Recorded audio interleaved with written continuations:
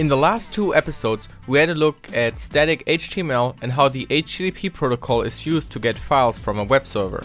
In this video, we will introduce the programming language PHP, which can be used to create dynamic websites. At the end of last video, I did a Google search for PHP tutorials and got very angry. So here is why.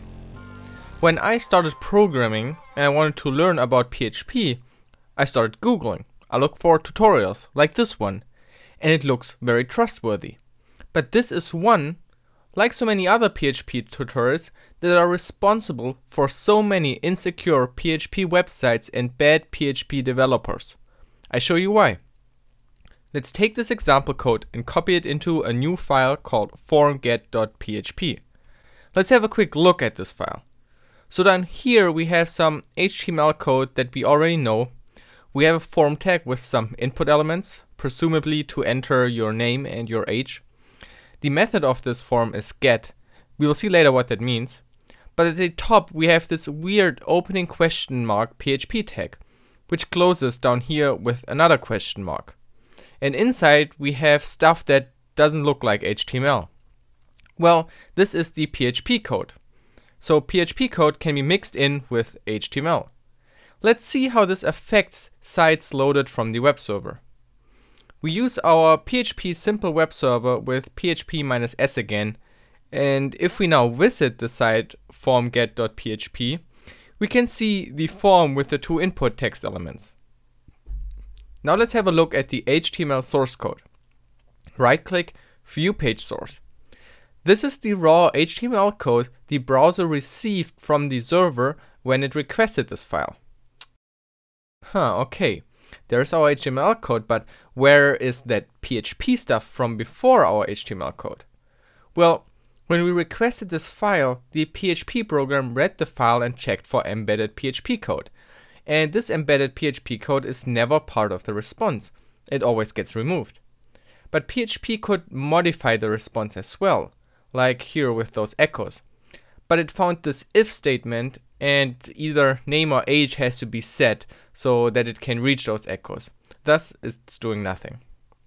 Now open the developer console with the network tab again and when we enter something in this form and press submit, we see the page load again.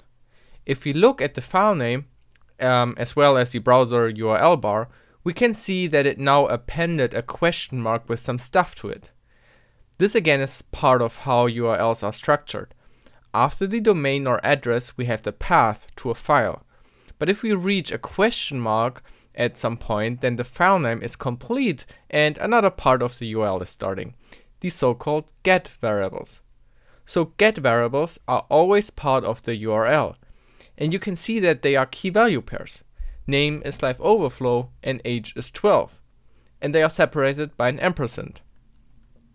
So even though we are loading the same file formget.php, the response is completely different. No text boxes anymore. Even if we look at the source code, there's no HTML left. So in the original PHP file, we can see now that this time the PHP block is more interesting. The first line of code is checking if there is a get variable name or get variable age, which is true. We have those now in the URL. And if that's the case, then we echo the string welcome, which we append the get variable name to. In PHP, you concatenate or append a string with dots. After the name comes the br tag, which is a new line in HTML. The next line of echo prints UR, followed by the get variable age, and appends years old to that. Which is exactly what we are seeing now in the response. And the reason why we don't see HTML after this PHP block is because inside of this is an exit call, which basically means stop PHP execution right here, thus never reaching the HTML down there. So this PHP code ran and echoed those variables. We often refer to this behavior as reflected, because like a mirror, it will return what we threw at it. So in this case, we threw LiveOverflow and the number 12 at the web server, and the web server responded with exactly those strings. Now why is this code so shitty? Well, who prevents us from injecting HTML tags? Let's start slow. Let's enter a B tag which should print some text bold. And when we submit the form, it works. Now you could argue, there is no harm in printing something bold that is a nice feature for customization for the users of this website, right? Well, consider this. You can now inject all HTML you want, which means I can completely fake content off the site. Oh, by the way, you can write your strings directly into the URL. No need to go through the form every time. That's just how get parameters work. So I can inject a fake news article. And now I could take this URL and send it to unaware, non-technical users. And when they see their trusted website asking them to donate, they might do it. It's not even on a fake domain like many phishing mails.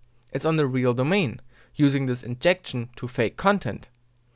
This makes it very trustworthy and efficient for phishing attacks. Now, this is already cool, but could you also inject JavaScript?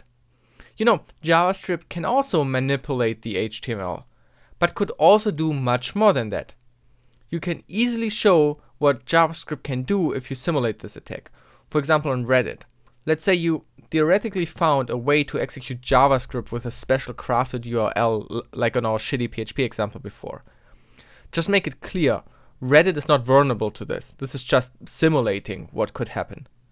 So open the developer tools and then the JavaScript console, because here you can write JavaScript as if you were executing that JavaScript on the site. So I could write a line of code which upvotes the first story on here by simulating a click on an upvote. And if I check my upvotes, I apparently upvoted this weird thread here. Now imagine I had a URL that could execute this line and upvote my post. Now I spam a lot of users with it they click on it and upvote it without them knowing. And theoretically, I could also write code that sends now private messages to random other users containing this evil URL, thus creating a JavaScript worm. So I hope this makes it clear that JavaScript execution controlled by an attacker is really, really bad. Now the question is, can we inject JavaScript on our example PHP code?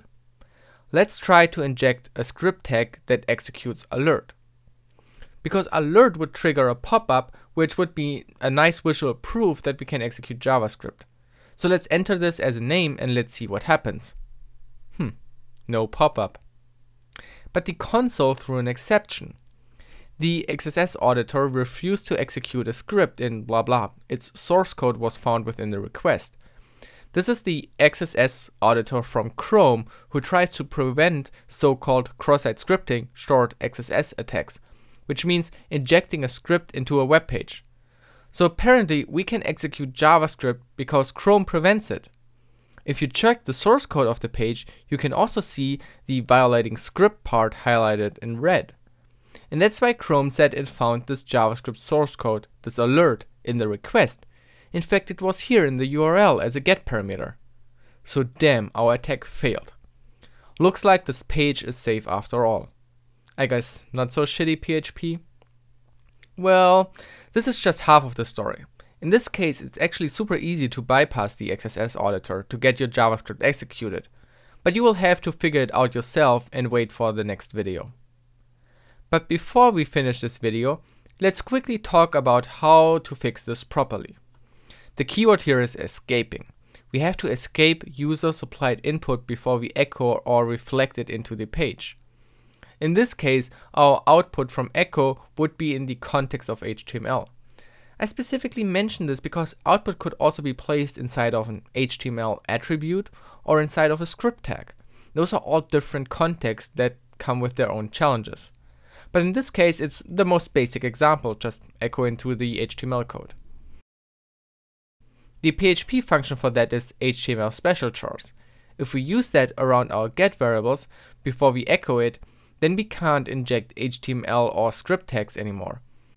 If you try that with the form, you will see it will now display the greater than and lower than sign instead. And the reason for that is, if you look into the HTML source code, we can see that the greater and lower than sign character got replaced with ampersand GT for greater than and semicolon. This is now special HTML code that is obviously not a tag anymore and will be rendered as a greater than sign when the page is displayed to us. This is making our output completely safe. Or does it? This is mostly true. And I don't want to make it sound like this can be easily bypassed, but there are some edge cases where this might not be true anymore. So keep a lookout for a short, slightly more advanced series on AngularJS Sandbox Escape that will be released soon in parallel to this web series.